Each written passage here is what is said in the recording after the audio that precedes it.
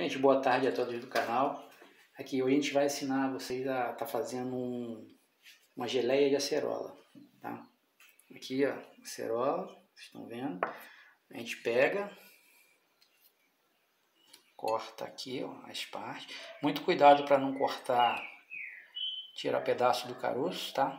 Corta aqui, ó. Vendo? O ideal é que ela seja, esteja bem madurinha, tá? E aí a gente vai cortando aqui, ó.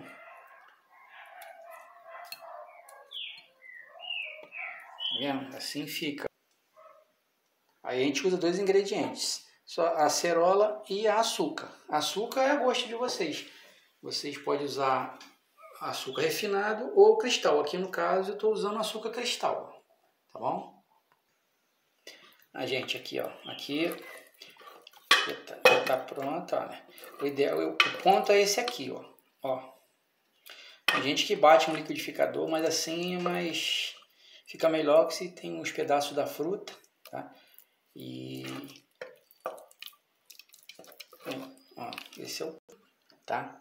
Tem que estar tá esterilizado, esse aqui já está esterilizado, tá? E o ideal é que vocês façam numa panela grande, porque ela ferve e pode transbordar, tá bom? Gente, aqui ela fica desse jeito, tá vendo?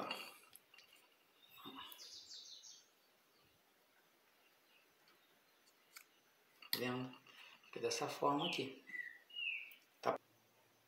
Gente, esse foi mais um vídeo, tá? Aqui, ela fica dessa forma.